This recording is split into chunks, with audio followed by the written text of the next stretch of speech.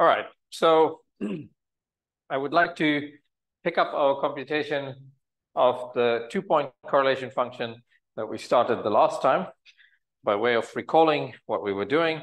Just remember, we're trying to calculate correlation functions, right? The correlation functions have lots of physical interpretations depending on the system that you're working with, but ultimately they tell you how parts of the system um, behave. They tell you about the dynamics. They tell you about the way the system interacts or self-interacts. So these are the fundamental observables in a quantum theory, and that's why it's important to calculate them. Generally, calculating the correlation functions in the quantum theory is hard, right? For those of you that are doing the quantum field theory course, you could probably appreciate how hard it is um, to calculate it. Um, there are many different ways you can calculate correlation functions. The most efficient method to calculate the correlation functions is through the path integral, which results in Feynman diagrams, and you have to calculate all the Feynman diagrams. Um, you know, people have built careers on calculating Feynman diagrams and working out efficient ways to calculate Feynman diagrams. The point here that I'm trying to make is that um, in a conformal field theory, the system is so highly constrained by the symmetry that in many cases, these correlation functions are entirely fixed. Or if they're not entirely fixed, then most of the correlation function is, most of the form of the correlation function is fixed. Right? This is a huge simplification um, of the problem. And in fact, we showed just using symmetry, and in fact, just using um, dilatations and translations, that we could fix the one-point function. Now, admittedly, that was a trivial calculation, but nevertheless, um, we could argue that the form of the, not only the form, the actual one-point function itself for any conformal field theory in any dimension is zero. It has to be. Okay. Then I started the calculation on the two-point function. And the two-point function is the propagator of the theory, right? So understanding what the two-point function does tells you a lot about a lot of things. So we saw in the last um, um, lecture that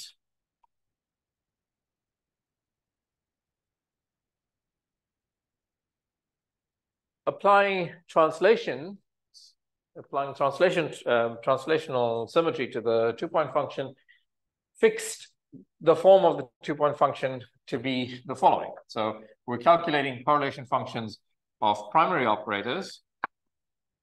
And in this case, we'll take two primary operators with different scaling dimensions, delta 1 and delta 2, located at x1 and x2. And we calculate their two-point correlator, and we saw that the two-point correlator um, is some function of x1 and x2, and translational symmetry fixed that the form of this, that however this function depends on x1 and x2, it could only depend on it as the difference between these two points. Okay? This was because um, when we took this guy and put it into the Ward identity with trans with translational symmetries, the Ward identity resulted in a differential equation, and the differential equation told us that the derivative of this guy with respect to x1 must be minus the derivative with respect to x2, which necessarily means that it can only be some function because it takes in two numbers and it produces one number, um, must be of this form. Okay. All right. so that's what translations, translational symmetry brought us. What about rotational symmetry? So rotational symmetry, technically I, I mean here um, invariance under Lorentz transformations. Or if we go to the Euclidean picture, these Lorentz transformations are just rotations. So now let's implement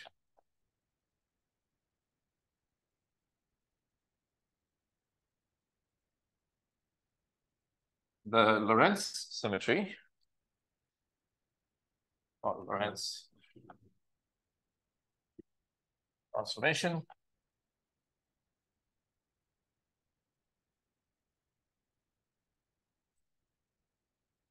X mu to X mu tilde, where X mu tilde is L mu mu X mu.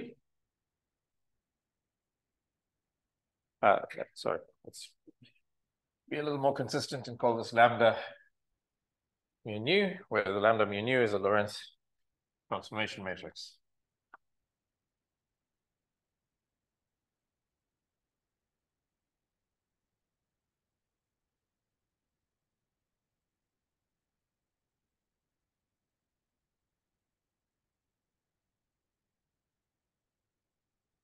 Mm-hmm.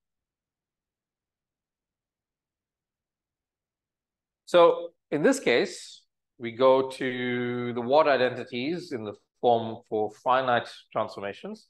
So the, the Ward identity means that the following is true.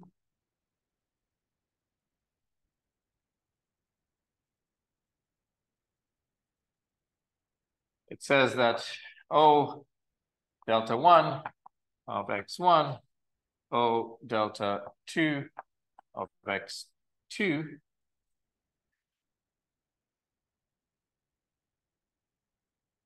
is equal to the two-point function of O delta 1.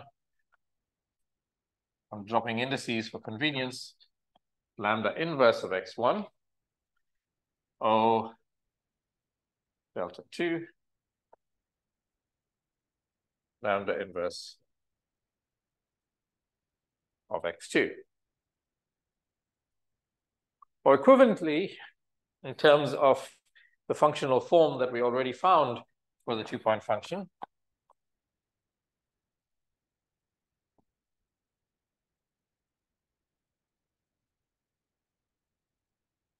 it says that f of x1 minus x2 must be the same as f of lambda inverse x1 minus x2.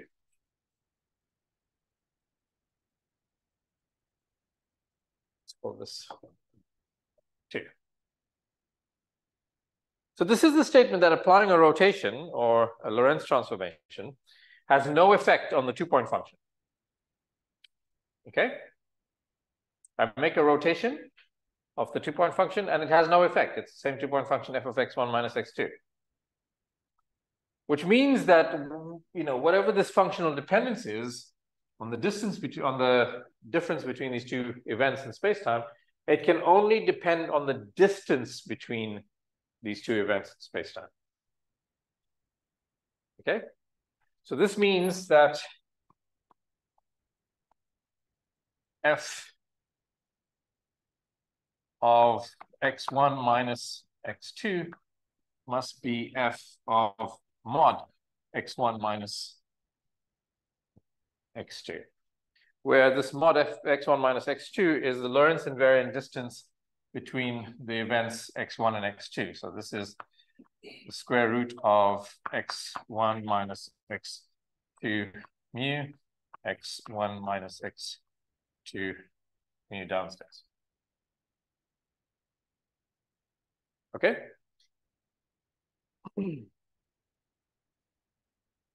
So the upshot here is that after, after implementing rotations or Lorentz transformations, we find that the two-point function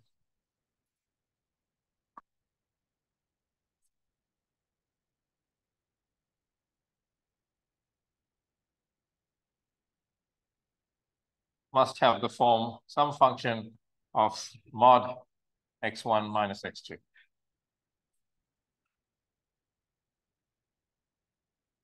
Okay.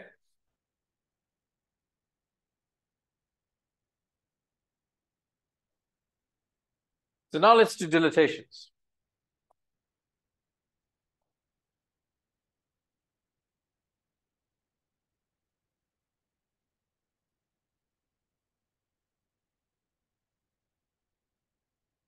So again, I want to use the finite form of the Ward identities, which tells us that, um, which will tell us that under a scaling where x goes to lambda x, the two-point function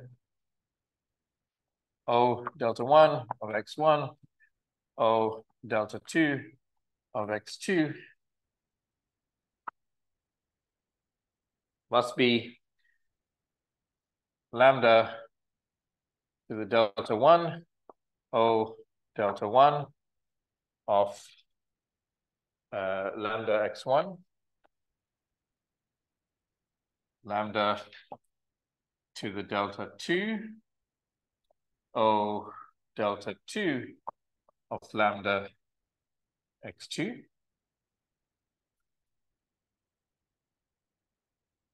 Which is just lambda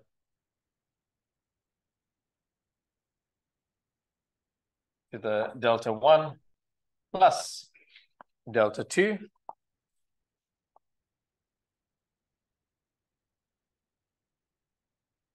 times the two-point function.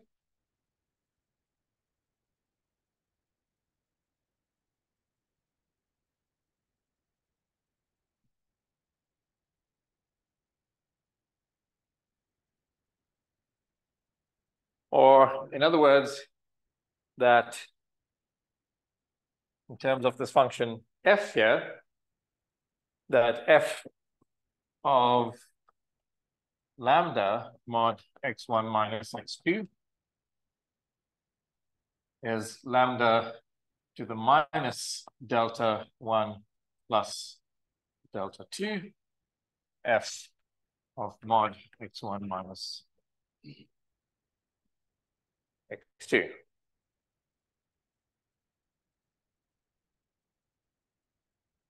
So how do we, let's see. So how do we interpret this constraint? So this constraint, we said, basically, if we made a rotation um, in space and time, then this didn't have any impact on this function f, which necessarily means that f must be a function of the, dis the distance between those two points, right? So it was easy enough to interpret. What does this mean? Well, to see what this means, let's make a Taylor expansion. Um,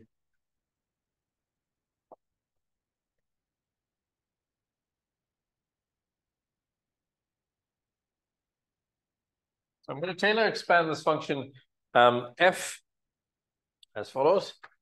Uh, mod x1 minus x2 as the sum over n equals naught to infinity, some set of constants, coefficients, Cn mod x1 minus x2 uh, to the n. Right? I'm abusing notation here because, you know, differentiating absolute value functions is problematic, but we understand that we're talking about some distance. So you can always go to polar, what's it called? Um, radius argument form, and we're expanding in the radius, okay? so then if we substitute this, if we substitute this constraint into this expansion, it follows that, so from equation four, it follows that the sum over n of Cn lambda to the n mod x1 minus x2 to the n must equal to lambda to the minus delta 1 plus delta 2 sum over n Cn mod x1 minus x2 to the n. And this equation, let's call it 5, is only satisfied for all lambda if the Cn are 0 for all n except when n is minus delta 1 plus delta 2. So equation 5 is satisfied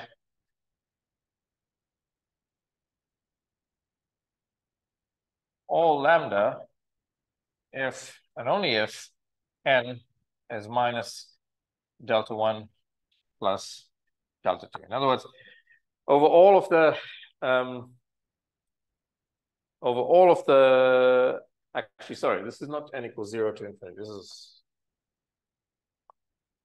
this is a Laurent expansion. So I should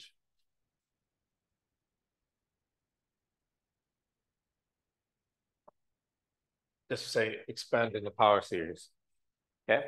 So this is only satisfied when n is minus delta 1 plus, um, plus delta 2.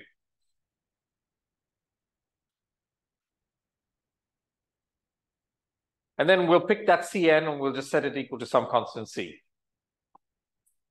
So this means that my function f of mod x1 minus x2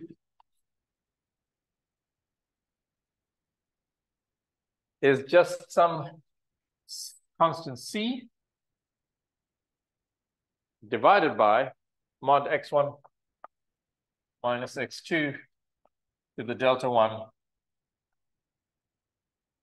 plus delta 2. Okay. This constant C actually just sets the normalization of our fields, and we can always choose things such that the normalization is set to 1. So this is a normalization. So this sets the normalization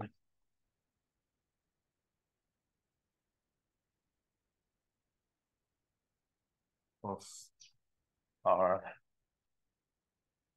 fields.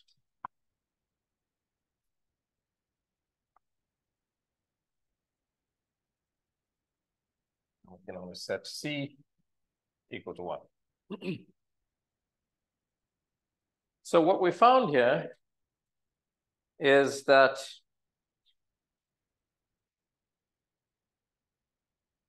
what we found here is that if we put this together, then the two-point function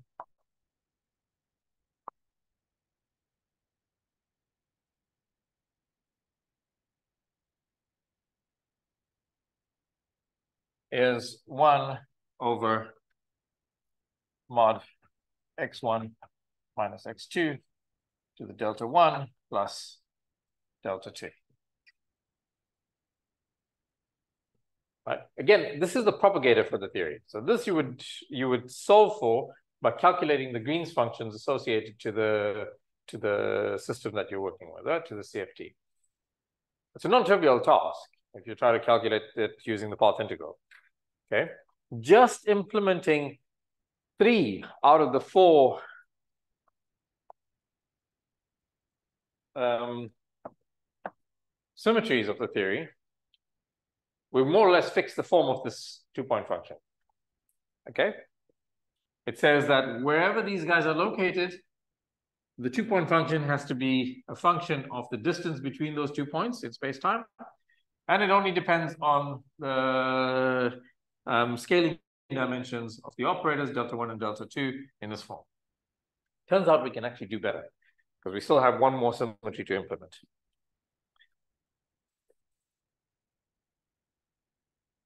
Representations. So let's ask, what does special conformal transformations buy us in terms of fixing this two-point function? well, the problem with special conformal transformations is implementing it directly is a bit of a mess, right? However, we know that a special conformal transformation is really a sequence of an inversion, a translation, and another inversion we know what translations do. Translations have already been implemented and they've fixed the, the form of the two-point function. So we only need to know what happens under inversions. Okay? Once we understand what happens under inversions, then we understand what happens under special conformal transformations. And what we're asking now is, does this further constrain the, the problem? Okay. So to understand um, the effect of special conformal transformations on two-point function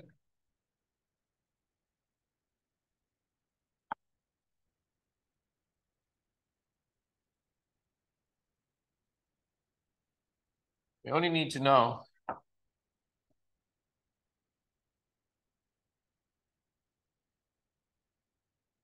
how inversions act.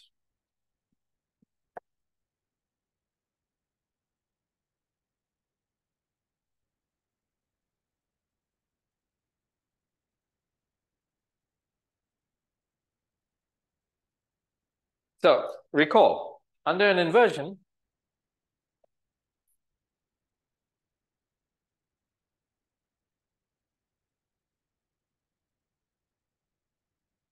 the point x mu goes to x mu tilde, and x mu tilde is x mu over x dot x. And we also learned that the Jacobian of this transformation dx tilde by dx is just 1 over x tilde to the d. And what this meant was that scalar primaries transform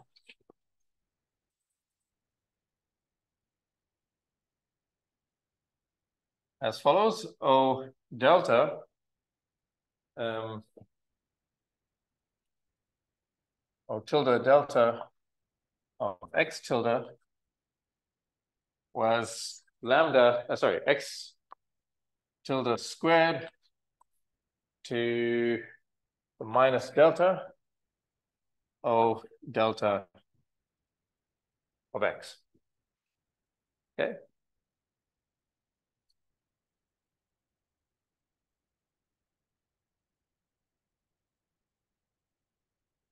We're going to need one more mathematical identity. Actually, let me, okay. So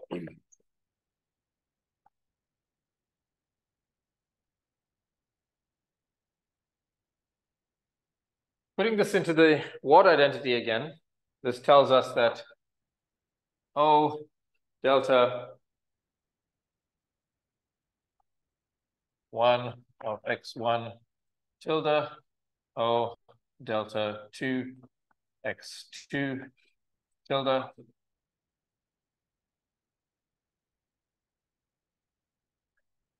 is 1 over x1 tilde squared to the delta, 1 over x2 tilde squared to the delta 2 O of um, x1 O x2.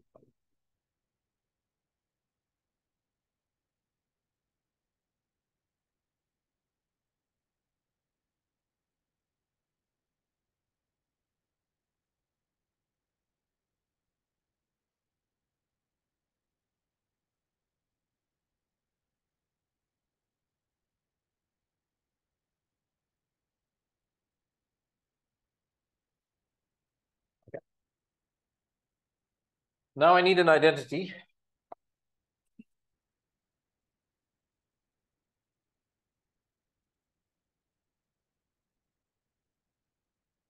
And that's a simple identity that you can prove. Namely that if x1, sorry, if that if x and x tilde are related like this, then the following must be true. 1 over x1 minus x2 squared is x1 tilde squared x2 tilde squared over x1 tilde minus x2 tilde squared. Um, I'm going to call this six, seven, and we'll call this eight. All right, that's just a mathematical identity. If I have x tilde and x related by inversion, then just by playing around with the x's, you can show that this must be true. And I'm going to need to use that to write this in a better form. So what this means is that, so 8 in 7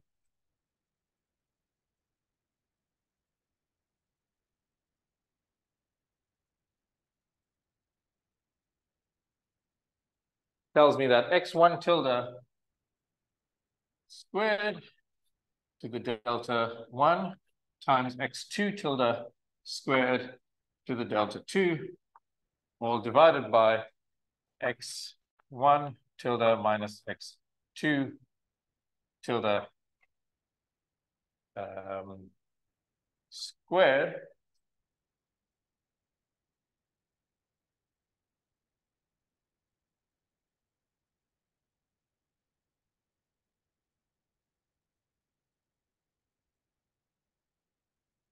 Yeah, to the delta 1 plus delta 2 over 2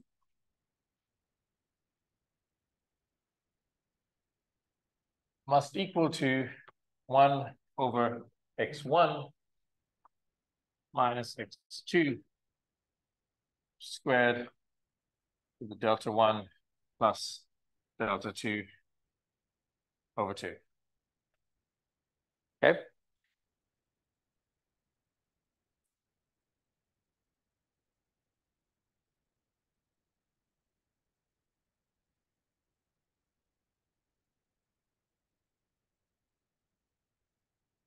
But I know that if I take 8 here and directly raise both sides to the delta 1 plus delta 2 over 2, then I'll find that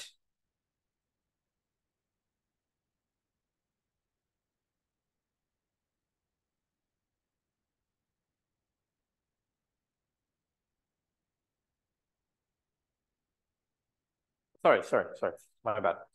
This is not from 8 and 7. This comes from this comes from from this. So the statement here is that um, I take this to this side of the equation, that gives me the numerator, and I know that this can be written as that because all I have to do is replace the, I know the form, the functional form of the two-point function, and replace the x's with the x tildes, um, and it's being raised, well, there's a, I write this as the square root of a square, okay? So from, this is from six. Uh, so six in seven gives me this. But from eight,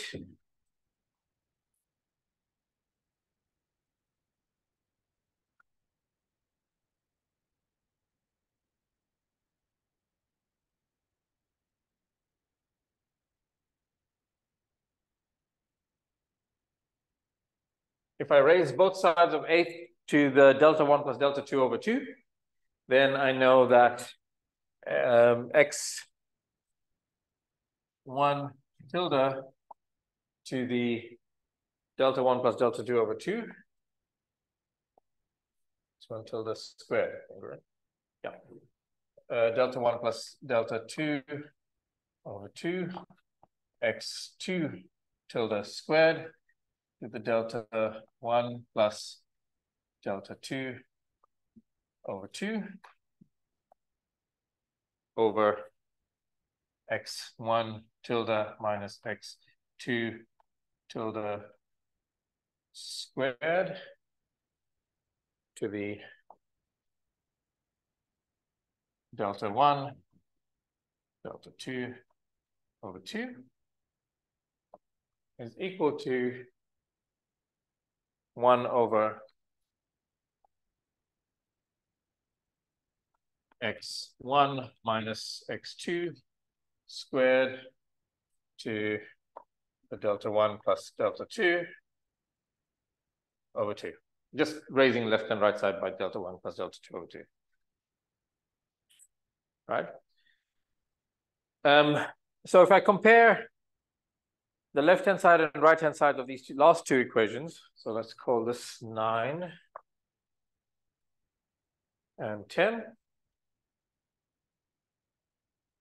Then I see that that constant 1, that, sorry, that constant c is only non-zero. And when it's non-zero, we can set it to 1 by the argument that I just made about the, the fact that it sets a normalization. If and only if delta 1 and delta 2 are the same. So comparing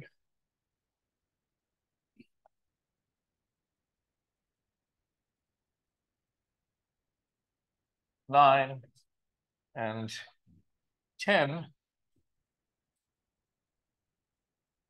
implies that delta 1 must equal to delta 2. So this is what special conformal transformations tell us. So now we can put all, all the information that we have together.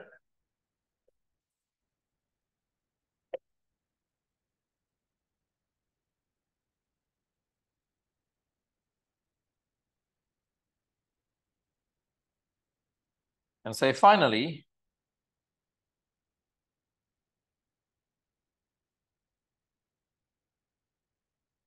that the two-point function of two primary operators, O delta 1 and x1, O delta 2 and x2, must be delta, Kronecker delta of delta 1 plus delta 2 over mod x1 minus x2 to the delta 1 plus delta 2. And that's it. Completely fixes the symmetries of the problem, completely fixes the two-point function. Yeah. Um,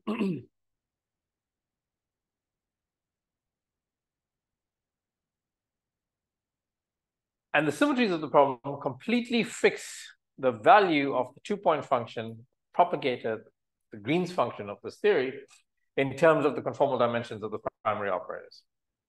Okay, so this is a pretty big deal, actually. So um, the two-point function is completely fixed once we know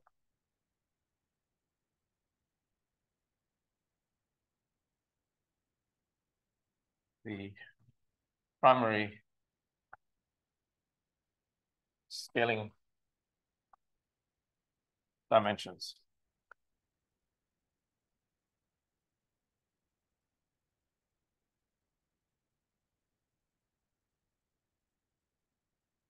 Unfortunately, these scaling dimensions are still generally complicated functions of the coupling of the theory. And in order to compute these guys, in general, you have to calculate Feynman diagrams, right?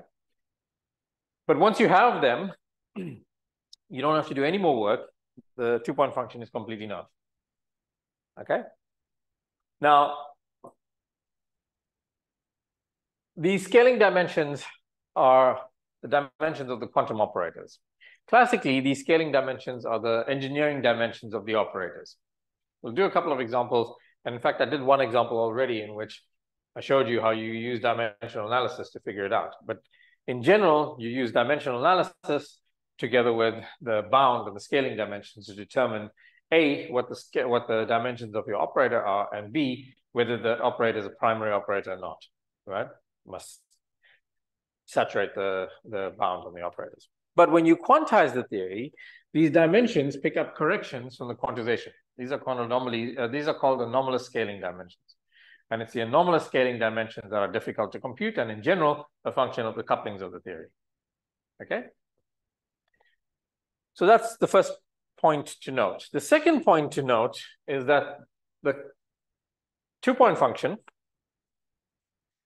um, has a power law fall off with the distance between the two points, right? So this is telling you how these two points are, how these operators are correlated as you change these two points.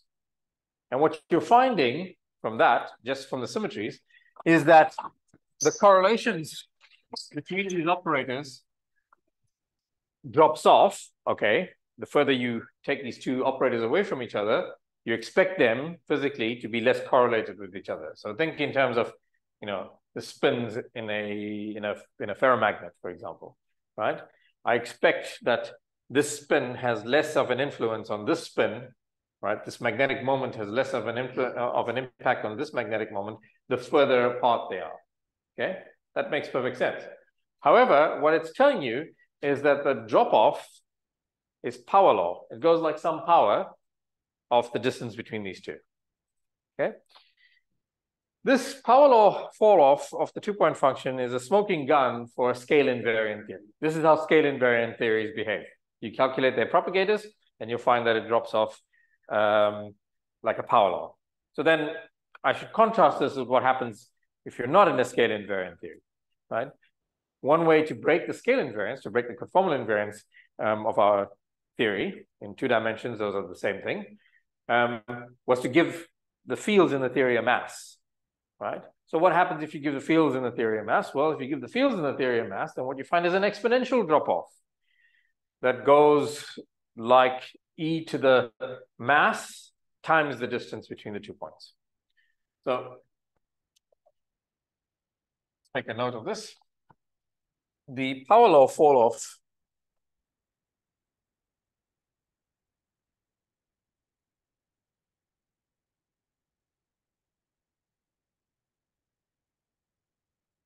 of the two-point function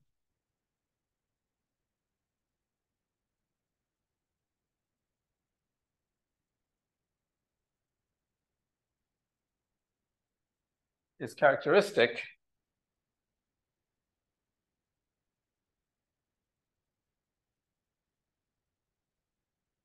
of a conformal field theory or a scale invariant theory.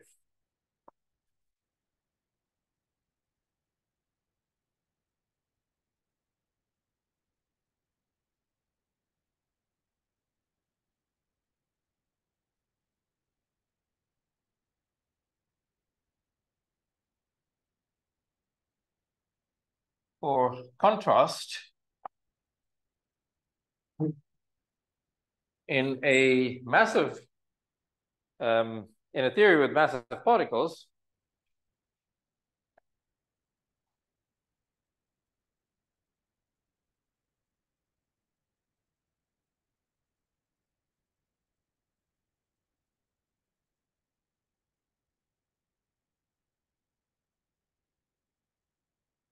which the massive part, the presence of these massive particles break the scale invariance because the mass set the scale for the theory. The two-point function is phi of x1, phi of x2 will go like e to the minus m times the distance between x1 and x2. And this number m, the scale of the largest particle and the, the mass of the largest particle in the spectrum of the theory, um, determines what's called the correlation length. So the correlation length um, is one over the mass. So if the mass goes to zero, the correlation length goes to infinity. And if the correlation length goes to infinity, that tells us that um, the theory is scale invariant. Okay. This is called the correlation length.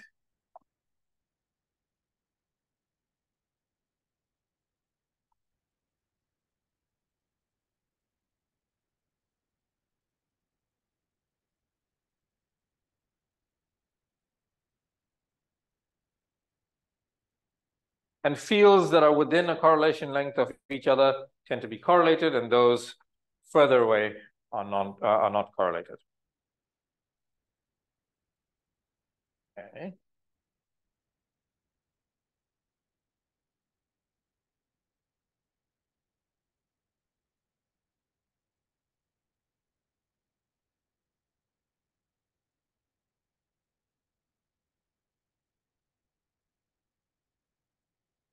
Okay. Uh, how much time do we have? Uh, 10 minutes. All right, let's let's stop here today.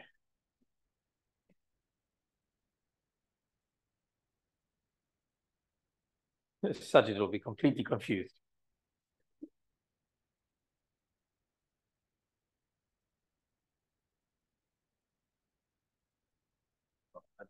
Do we know? Keep going. I'm I'm listening.